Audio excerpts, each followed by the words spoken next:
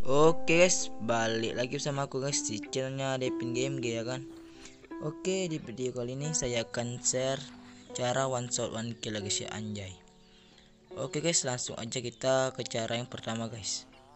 Untuk cara yang pertama kalian setel dulu sensitivitas kalian selicin mungkin guys ya.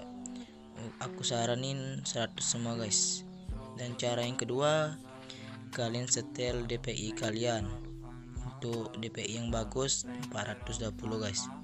Tapi misalkan HP kalian gak support DPI 360 bisa guys. Oke guys untuk cara yang selanjutnya simak video berikut ini guys. Let's go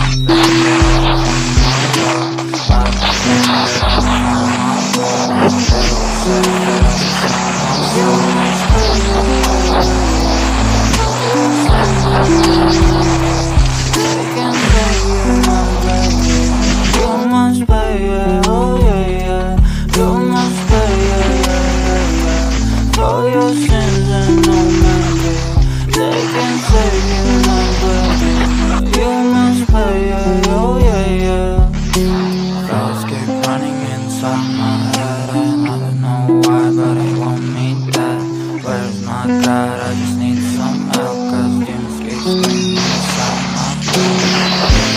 my